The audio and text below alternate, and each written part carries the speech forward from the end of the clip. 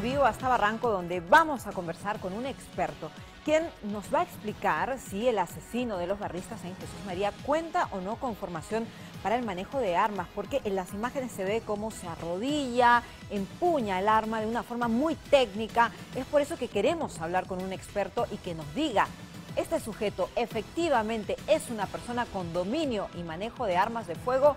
Jorge Madico con todos los detalles. Adelante Jorge, buenas tardes.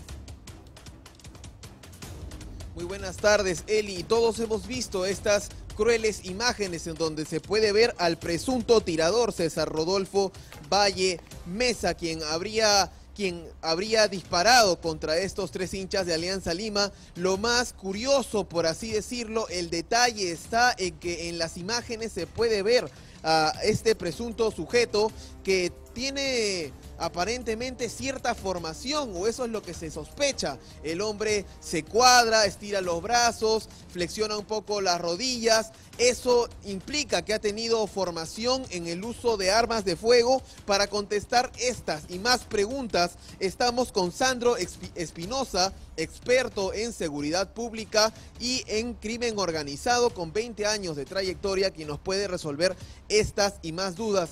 Usted, como yo, como todo el Perú, ha visto estas imágenes. La pregunta es, ¿este sujeto tiene experiencia en el uso de armas de fuego? Sí, muy buenas tardes a todos los televidentes. Primero que nada, las condolencias a todas las familias. Eh, luego a tu pregunta, definitivamente este sujeto sí tiene un entrenamiento táctico en el uso de armas de fuego. No lo digo solamente por, vamos a decirlo, por el hecho de tomar un arma y disparar, no solo por el hecho de, vamos a decir, arrodillarse para disparar, sino que la mayor característica para mí es el que él saque el arma y comienza a caminar con las rodillas flexionadas, apunta y luego dispara. Eso solamente lo hace alguien que ha tenido entrenamiento táctico en lo que se conoce como combate cercano. Y esto lo reciben sin ningún control, de manera informal, irregular y hasta ilegal. Este, muchos, vamos a decirlo, ciudadanos peruanos que obtienen o compran un arma de fuego y hacen entrenamientos, ya sea en polígonos no autorizados, en Lima Sur a partir del kilómetro 60, en el Lima Norte, en los grandes terrenos o grandes terrenos con, vamos a decirlo, que, que, están ocupados ahorita por traficantes de tierra, etcétera, etcétera. Entonces no hay un control de ese tema, lamentablemente, ¿no? ni por la policía ni por la SUCAME en este momento. Se puede visualizar también en el video, no sé si nos lo puedes ejemplificar un poco, que este hombre como usted lo ha demostrado, camina un poco con las rodillas flexionadas, apuntando, pero incluso este hombre también se agacha. Es decir, eh, descansa su cuerpo sobre el suelo, las rodillas precisamente, para disparar. ¿Eso también tiene algún nombre en específico? Sí, como te digo, ese es un entrenamiento de combate cercano o un entrenamiento que se hace para hacer resguardo acá en el Perú, ¿no? Es, es un entrenamiento, vamos a decirlo, de defensivo, más, más, que todo, ¿no? Es un entrenamiento de ataque, vamos a decirlo, ¿no? Jorge. Entiendo. Ahora, una pregunta que también... Ah, dime, Eli. Eli Utroni, que está en conducción, tiene una consulta. Sí, precisamente me gustaría que le preguntes al experto. Flexionar las rodillas un poco, caminar de esa forma, ¿qué puede provocar técnicamente? ¿Qué quiere decir esto? Estar alerta, poder escapar en el área, digamos, de una persona que utiliza este tipo de armamentos, ¿cómo le puede beneficiar esta táctica? Claro, la pregunta de Eli es, eh, usted que nos ha ejemplificado un poco, que flexiona las rodillas un poco, ¿esto implica alguna estrategia quizás para huir, atacar, desplazarse?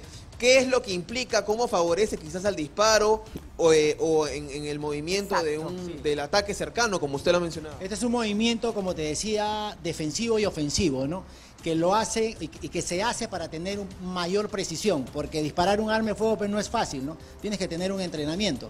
Entonces, para tener mayor estabilidad en el disparo, haces este ejercicio de flexionar las rodillas, sacas el arma y apuntas y vas caminando para no perder estabilidad, ¿no? Ese es un movimiento táctico, vamos a decir. Interesante. no cualquiera lo pudiese saber. O sea, puedes imitar, no sé, el hecho de disparar, arrodillarte, todo. Pero el hecho de caminar, apuntar, flexionar las rodillas, sí es un entrenamiento ya táctico. Bien, Jorge. Bueno, esta es toda la información que se tiene a esta hora del día, Eli. Si tienes una consulta, hay que aprovechar que estamos con el experto. En todo caso, este es el cierre hasta el momento de desarrollo informativo. Gracias Jorge por la información, gracias también al señor Sandro Espinosa, experto en seguridad. Lo ha dicho bastante claro, este sujeto sabe utilizar armas, es peligroso y está prófugo de la justicia. Ahí está su rostro, todavía estamos mostrando las imágenes de las cámaras de seguridad, si usted lo conoce, inmediatamente reporte, porque ya lo ha dicho el experto, ahí está el rostro justamente para que usted, si lo conoce, dé aviso a la policía, porque es peligroso, sabe manejar armas y está suelto, ha asesinado a varias personas, así que muchísimo ojo con esta situación. Muchas gracias a ambos. Seguimos con más.